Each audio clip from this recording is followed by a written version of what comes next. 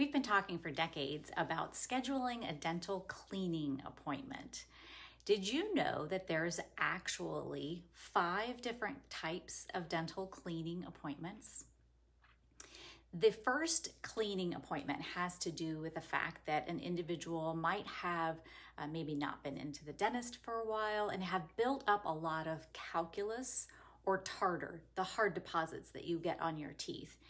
If there's so much of a buildup in that area that we can't take readings or periodontal probing depths in those areas, then we need to remove the majority of those deposits just so that we can get that information that we need. That appointment is actually called a gross debridement or a full mouth debridement, where the majority of those deposits are removed so that we can obtain a diagnosis. So that's one type of dental cleaning appointment. We're going to push that one aside, and that leaves us with four. This is Dr. Scheurer, and I'm here at the dental office, Tranquil Dental. So now we're going to talk about the other four dental appointments.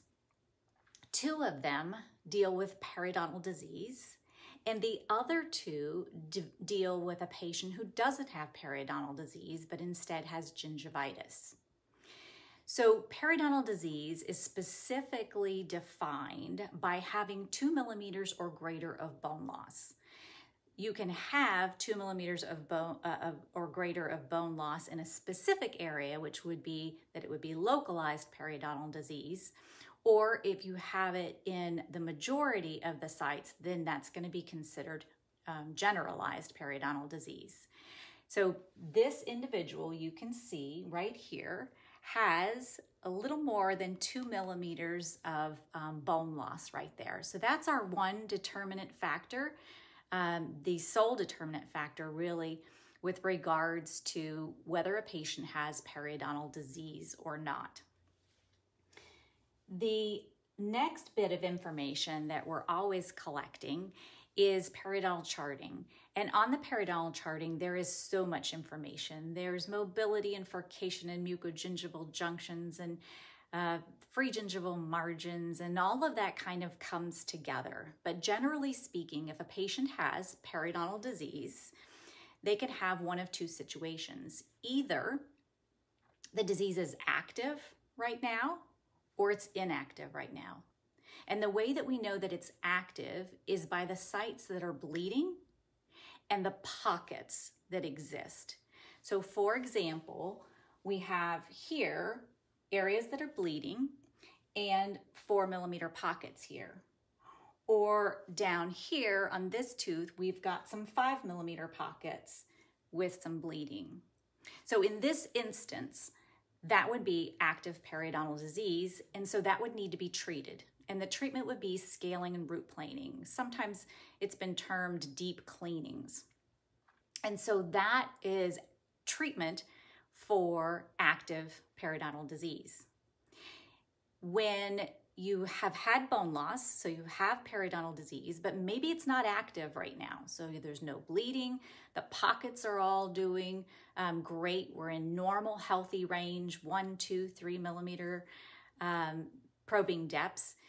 Then that individual's appointment is going to be a periodontal maintenance appointment. It's an appointment where we're um, making sure that we're following the um, process, staying on top of it, and um, it's an indication that the disease at the present moment is inactive. So for active periodontal disease, it's going to be scaling and root planing. And for inactive disease, it's going to be peri uh, a periodontal maintenance appointment.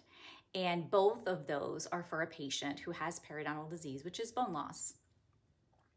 The other types, two types of appointments, are going to have to deal with an individual who does not have the bone loss, so does not have periodontal disease.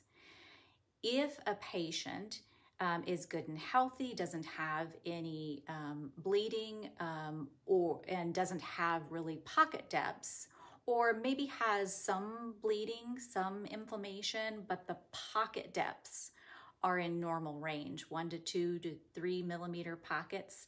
um, not deeper than that, then that's going to be a prophylaxis appointment. And that tends to be the appointment that people have associated with their dental cleaning for so long. If an individual, though, doesn't have bone loss, but does have some deeper pockets, some bleeding and some deeper pockets, then that patient has gingivitis. And those deeper pockets are active disease process. And so we need to treat that. And we treat that with an appointment called scaling in the presence of gingivitis. So I may have overloaded you today, but cleaning appointments are not one appointment. cleaning appointments are five different kinds of cleaning appointments. So we have a gross debridement or a full mouth debridement where we're getting off the majority of those deposits so that we can get these numbers. They're so important for us to know whether someone's healthy or not healthy. Then the next four appointments are divided into two for gingivitis and two for periodontitis. Gingivitis means that there is not two millimeters or greater of bone loss. And so if you have gingivitis, either the process is active where we've got a lot of bleeding and deeper pockets, and so you need to treat that with scaling in the presence of gingivitis, or everything seems to be inactive at the moment, and so a normal prophylaxis is the appointment that would be uh, appropriate. And then for the periodontal disease, we've got active uh, disease, which means that there's bleeding and deep pockets. They need to be treated with scaling and root planing, or inactive, and that's going to be a periodontal maintenance appointment. So the next time that you visit your dentist for a dental cleaning appointment, be sure to ask and find out what type of appointment is that?